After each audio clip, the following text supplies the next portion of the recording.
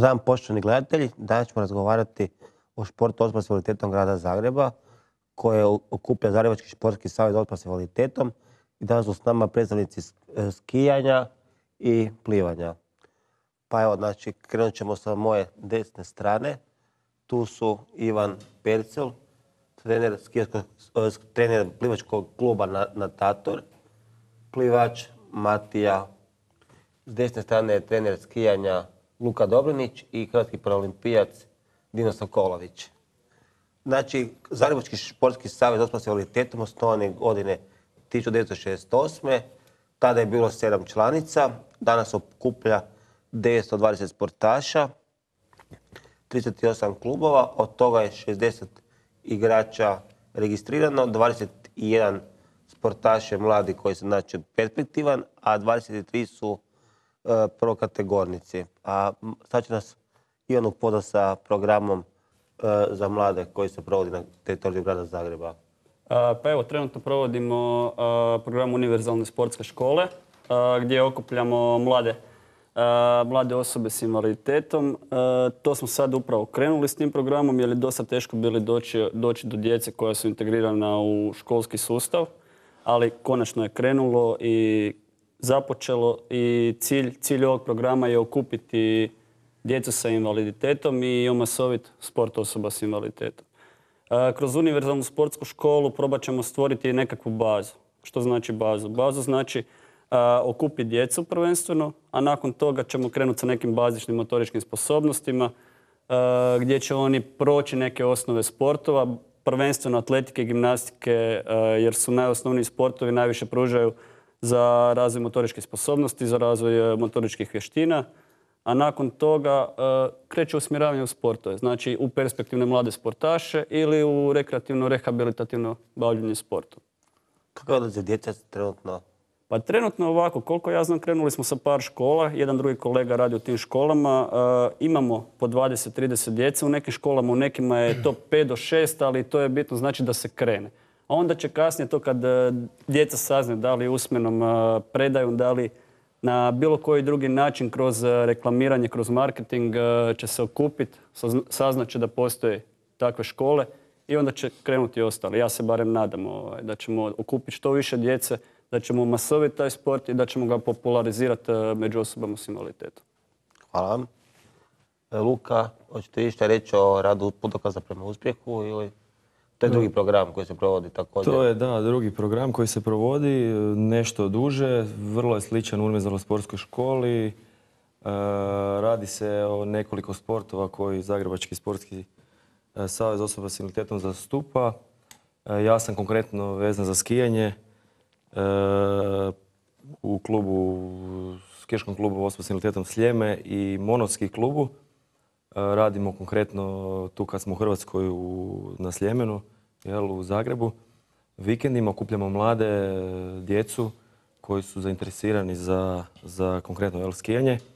A onda, eto, nakon toga, e, ono što Ivan rekao, mislim, treba djeci pružiti e, prvenstveno nekakvu bazične, bazične sportove, jel, nekak, njihov, da se njihov zahtjev za, za, za nekakvim prirodnim oblicima kretanja zadovolji a nakon toga eventualno ta djeca i mladi e, krenu nekakav ozbiljni sustavni rad, treninga, pa zašto ne bi jednog dana onda imali iz tog sistema kao što je Matija ili kao što je Dino e, nastupe na paraolimpijskim ili ljetnim ili zimskim igrama, e, što je jako dobro. Ali prvenstveno, evo što je Ivan rekao, da se djeca i mladi bave sportom, jel?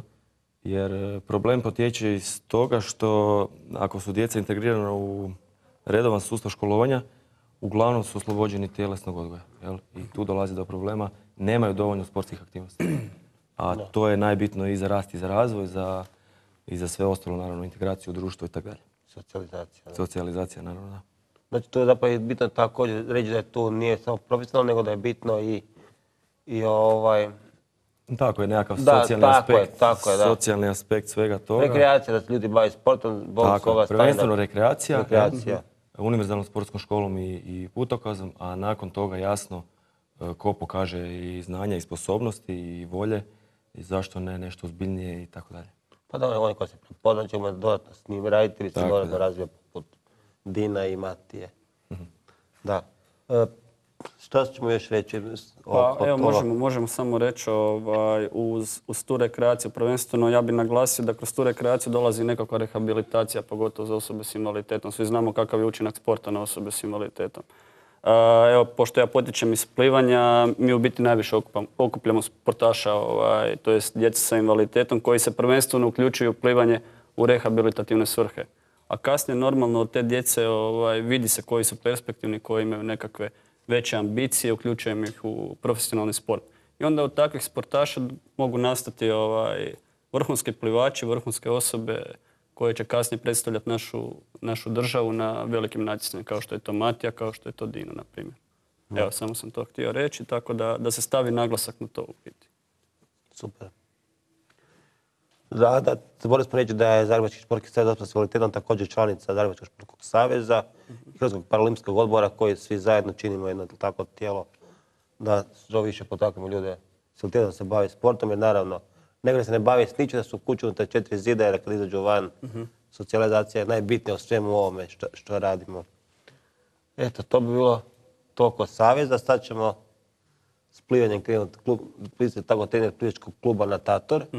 Pa evo predstavite malo javnosti vaš klub. Evo ovako, kroz a, naš savez, kroz naš savez djeluje centar za plivanje. Uz ostale centre koji su još tamo, centar za bočanje, centar za skijanje i tako dalje. Centar za plivanje se realizira kroz a, plivački klub Natator. Okupljamo djecu s invaliditetom i radimo kroz, prvenstveno kroz Halivik program, koji je poseban program namijenjen uglavnom za osobe s invaliditetom, ali nije nikakva prepreka da se uključe osobe koje nemaju invaliditeta u taj program, tako da onda normalno ovaj, nakon što prođemo određeni, određeni period vremena, nakon što ta djeca a, sladaju određene sposobnosti u vodi, konkretno a, imamo jedan swim test. A, na svim testu je potrebno skupiti određeni broj bodova. Skupljanjem tih bodova se pokazuje da li su djeca sposobna biti samostalna u vodi ili ne. Nakon toga kreće ovaj škola plivanja. U školi plivanja uče određene tehnike plivanja, kao što su kraul, prsno, leđno ili delfin. E, nakon toga onda imamo ovo što smo spomenuli, rekreativno plivanje, rekreativno rehabilitativno plivanje ili plivanje kao profesionalni šport. E, što je još bitno naglasiti? Ja bih nešto rekao o tom Halivi konceptu gdje okupljamo stvarno veliki broj djece. Trenutno ih imamo 50 do 60 u programu. E, što je bitno naglasiti? Bitno je naglasiti da u tom programu ne koristimo plutajuća pomagala. Zašto? Pa ne koristimo iz razloga jer e, bitno je to da osoba koja je sa djetetom u vodi, to je obično nekakva kontaktna osoba, da li roditelj sa mlađom djecom ili sa starijom djecom može biti bilo koja kontaktna osoba koja će djetetu pružati e, potporu u vodi. E, ta osoba koja je u vodi sa djetetom može procijeniti koliko je te potpore djetetu potrebno. Da li je potrebno više potpore, da li je potrebno manje potpore. E, na taj način onda dolazimo do toga da dijete postaje sa vremenom sve samostalniji, da se odvaja od instruktora, da počinje vjerovati vodi, a nakon toga ovaj, razvija i nekakve već motoričke sposobnosti, motoričke vještine za prelazak u školu plivanja. Znači onda je tu već, kad su skupili taj određeni broj bodova na tom svim testu, prelaze u školu plivanja koju realiziramo kroz plivački klub Natator, kroz e, dva do tri puta tjedno i e, dalje nastavlja onda što smo opet spomenuli rekreativno plivanje ili, ili profesionalni šport. Treninzi profesionalnih sporta, sportaša se odvijaju kroz e, dva puta na dan, znači ujutro i popodne, kroz dva sata treninga, plus uh, vikendom su obično natjecanja. I evo, Matija je primjer toga. Matija e, trenutno pohađa dva fakulteta, ali tako Matija? Znači i uz to je profesionalni spor- sportaš koji je bio na paraolimpijskim igrama u Londonu, bio je na prošlom svjetskom prvenstvu u Montrealu i mislim što više reći. Osim bavite se sportom, uključite se u sport, a, dođite u naš sportski savez, a, bavite se bavite se bilo kojim sportom, ili na rekreativnoj bazi, ili ako ste perspektivni, onda ćemo vas uključiti u profesionalni šport. Tako da vas ovim putem sve pozivamo da se priključite savezu, da se priključite plivanju, da se priključite skijanju i svim drugim športovima koji djeluju kroz naš savez. Pa zapravo Savez, Savez okuplja mnogo sporta, da ćete gledati šah, bočanje CP, pikado, streličarstvo. Upravo to. Znači, ko se pronađe, ima za, za veliki izbor sporta koji se može baviti svojim invaliditetom koji, koji, ga, koji, koji ima osoba. Upravo, upravo to. I, i naravno s će uvijek raditi vrhunski stručnjaci koji su za to obučeni. Tako, Osim sportskog dijela, tu su i psihološki su spremni se brinuti o toj djeci. apsolutno. Tako je. Mate, ti si student, jel tako? Dva fakulteta. Da, Reci sam malo sebi, koliko se baviš plivanjem, što studiraš? a, ja sam Matija Grebinić, student sam Pravnog fakulteta i Hrvatskih studija u Zagrebu, smjer komunikologija. A, Plivanjem se bavim već 14-15 godina. A, Isto tako počeo sam čisto iz rehabilitacijskih namjera. Međutim, to je s vremenom preraslo više u ljubav prema sportu. Došlo, s vremenom su došli rezultati i tako sam se i dalje nastavio baviti koliko to, i tako sam se dalje nastavio baviti plivanjem. Gdje si nastupao sve do sada, osim u Montrealu? Pa, da. Nastupao sam na svjetskim prvenstvima u Rio de Janeiru, e, u Eindhovenu i u Montrealu, te na Europskom prvenstvu u Reykjaviku. E, Za sad svakako mi je najvažniji e, rezultat karijere e, nastup u finalu na Paralimpijskim igrama u Londonu 2012. godine. Ove godine treniramo za Europsko prvenstvo također u Eindhovenu e, i trenutno se spremamo za to. U kojoj se kategoriji natječeš? Znam da ima devet kategorija, plivanje. Ti si u kategoriji... Više. Više, Pardon, više, onda da. se. Ka, ja sam kategorija S5, e, kategorije idu od S1 do S10, S1 su najozbiljniji e, oblici invaliditeta, S10 su najlakši oblici invaliditeta. Znači ti su sredini, ajmo reći, otprilike. Da, tako je. Super. I koji su ti planovi za, imaš još ove godine koji turnir? Pa spremamo se za to europsko prvenstvo koje je u osmom mjesecu. E, Nakon toga sljedeć- sljedeće godine nam e, slijedi svjetsko prvenstvo u Glasgowu, te za dvije godine već e, sljedeće paralimpijske igre u Rio de Janeiru za koje se nadam da ću nastupiti. Koliko bi trebalo ići naših plivača sad na Europskoj, znate možda već ili... E, Ne znam točno E, potrebno je norme prvo. Norme, da, da. Tako je. Potrebno je ostvariti norme. Trenutno, barem koliko ja znam, to su Matija Grebenić, Kristijan Vincetić eventualno i sad ako bude možda Kristijan Mamić iz našeg kluba ili eventualno Nataša Sobočan. Možda još tu bude nekih plivača, ali treba će puno rada još. Ovaj. Onda imaš nekakav turnir, vjerojatno prije toga. E, Prije- Sad evo slijedi nam upravo PCT. državno prvenstvo u Splitu koje imamo, pa vas pozivamo svi koji su možda negdje blizu da navrate da pogledaju od e, 9. do 11. 5. E, Puno naših sportaša bi trebalo ići iz Zagreba na nastup u Splitu, te se nadamo dobrim rezultatima. Moram napomenuti da je državno prvenstvo otvorenog tipa, pa da će nastupiti ovaj 9 do 10 eh, drugih reprezentacija. Uz to će biti američka B reprezentacija, a, dolaze nam Rusi, dolaze nam a, susjedne države, još neke europske države, tako da će ovaj, sve to biti lijepo upriličeno. A gdje je Hrvatska tu negdje u Europi po, plivanju? Pa po plivanju ja mislim da dosta dobro kotiramo. Evo, Matija je definitivno primjer. Primjer je i Kristijan Vincetić, koji je ovaj, isto tako imao nastup u Montrealu. Za London je imao problem jer je imao operaciju upravo prije, prije samih igara, tako da nije bio posve spreman ovaj, za igre. To se desilo dva, tri mjeseca prije uh, paraolimpijskih igara. Operirao je rame, se uspio vratiti eh, na vrijeme, i, a definitivno da je bio da je bio spreman, bio, bilo bi to sigurno među prva tri mjesta. Pa je da, pa sam bio jedan razgovarao s gospodinom Vincentićem i njemu je bila sezona 2012. na 13. idealna, tamo imao bio u formi, međutim, da. To se, desilo se desilo tako da... desila se ozljeda, Ozljeda, desila se da. operacija i to je do- sve došlo ovaj, tamo prije tih igara kad, je, kad su bile najjače pripreme. E, bilo je to što je bilo. Normalno čovjek kad se vrati, vratio se tamo ovaj, kad je trebalo već polako pripremati i ići u laganiju fazu treninga. On se u tom trenutku točno vratio na trening, tako da tu je već gotovo ništa nije bilo prostora da bi se nešto više napravilo. Hvala. Luka, evo, sad malo da, o skijanju da upoznamo javnost. Malo o skijanju, da. Pa evo, nešto slično kao što je Ivan pričao. E, naše skijanje je vezano prvenstveno ovdje za Zagreb i za Sljeme. To su skijaški klub osoba s invaliditetom Sljeme i monoski klub Zagreb. Jer to su naša dva naj, e, najaktivnija kluba.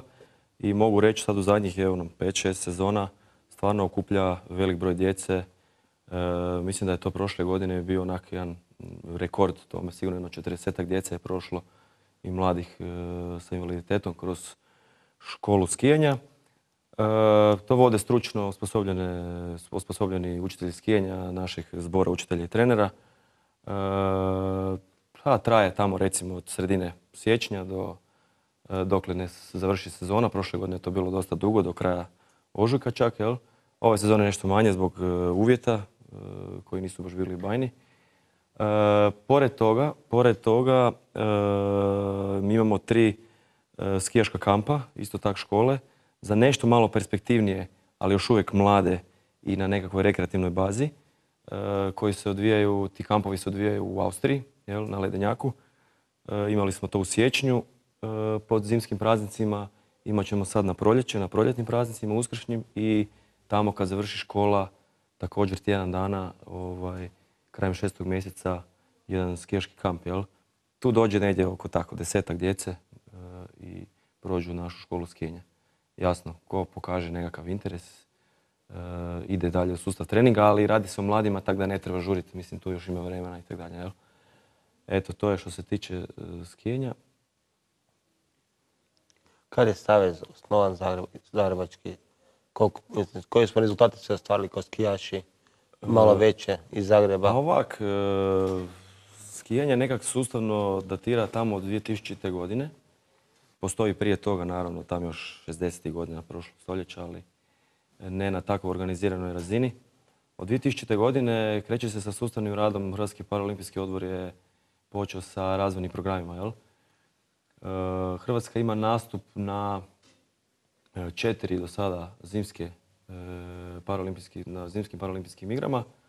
Evo, e, sad smo se vratili iz Sočija sa zadnjih, jel? E, Pa rezultati su dosta dobri, e, možemo to tako reći, s obzirom da se radi o dosta specifičnom sportu, da nas nema puno.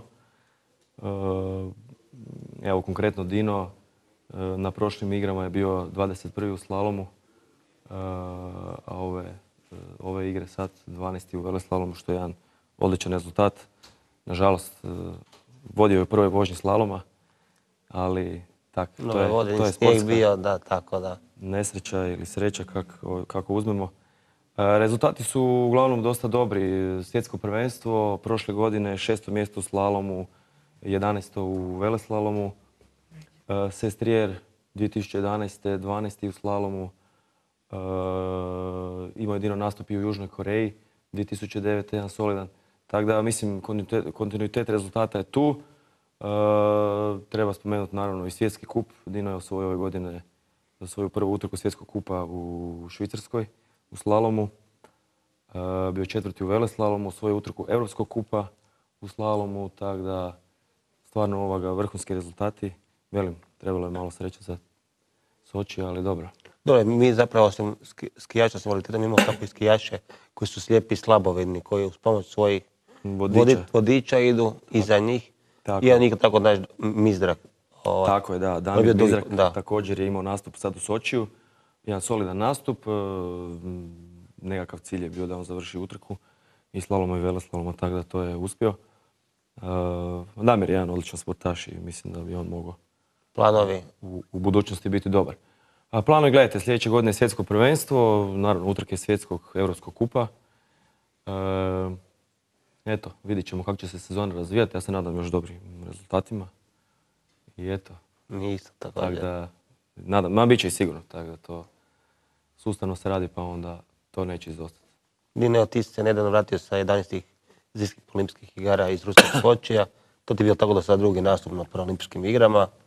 Kako bi si zadovoljan? Kako je bilo tamo? Pa sve u svemu bilo je dobro.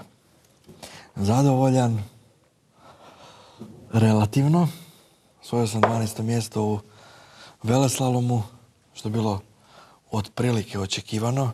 To je bio, ajmo reći, moja najbolja vožnja veleslaloma.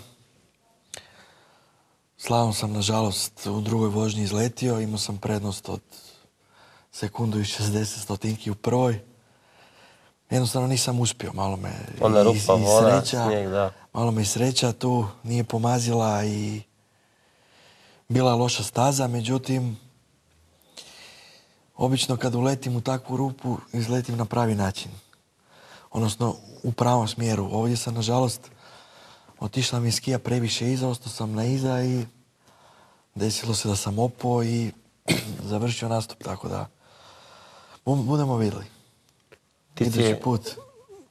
Kako da imaš dalje planove? ne oduzeti ići još više. Vidim da si sad stvarno ove godine bio u dobroj formi. Da, ove godine se puno toga posložilo. Uspio sam osvojiti e, dvije utrke u Eurokupu, moj svoj prvi svjetski kup. Bio sam jedanput i drugi u svjetskom kupu. E, sve u svemu, sve redom odlični rezultati. Pokazao sam odličnu formu.